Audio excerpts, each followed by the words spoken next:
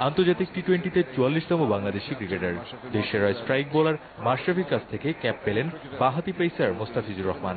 Dressing রুমের সামনের এই রোমাঞ্চের রেশ কাটতে না কাটতেই টাইগার কাপ্তানের কাছ থেকে পেলেন নতুন বল ওয়াইড দিয়ে শুরু হলেও বদলে গেলেন পরক্ষণেই প্রথম স্পেলে দুই ওভারে দিলেন মাত্র পাঁচ রান। গতির সঙ্গে সরফিল সুইং বাহাতি পেসারদের এমন রোমাঞ্চ ছড়ানো বোলিং বাংলাদেশ শেষ কবে দেখেছে সেটা গবেষণার বিষয় হতে পারে। দ্বিতীয় স্পেলে প্রতীক্ষায় রেখেছিল আরও বড় রোমাঞ্চের। টি টোয়েন্টির অন্যতম সেরা ব্যাটসম্যানের কাছ থেকে ছক্কা খেয়েও দমে যাননি। ওভারের চতুর্থ বলে চোখ ধাঁধানো এক সুইংয়ে আফ্রিদিকে তো বোকা বানালেনি আঙ্গুল তুলতে বাধ্য হলেন আম্পায়ারও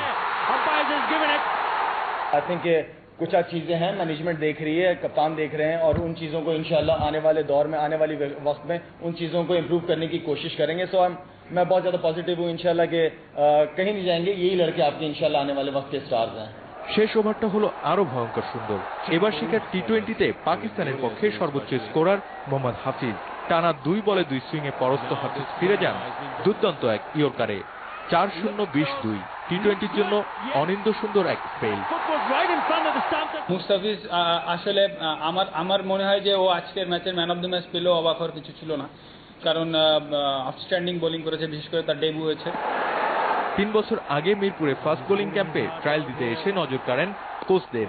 এরপর নিয়ম করেই অনূর্ধ্ব উনিশ দলকে সার্ভিস দিয়েছেন সাতক্ষীরার এই পেসার গেল বছর অনূর্ধ্ব উনিশ বিশ্বকাপে বাংলাদেশের পক্ষে স্বীকার করেন দ্বিতীয় সর্বোচ্চ নয় উইকেট। প্রথম শ্রেণির ক্রিকেটে খুলনার হয়ে মাত্র আট ম্যাচ খেলে পেয়েছেন তেইশ উইকেট। আর লিস্টেতে আবাহনীর পক্ষে পাঁচ ম্যাচে উইকেট বারোটি। ছোট্ট এই ক্যারিয়ারের উজ্জ্বল পরিসংখ্যানই বলে দিচ্ছে মুস্তাফিজ। কতটা প্রতিভাধর?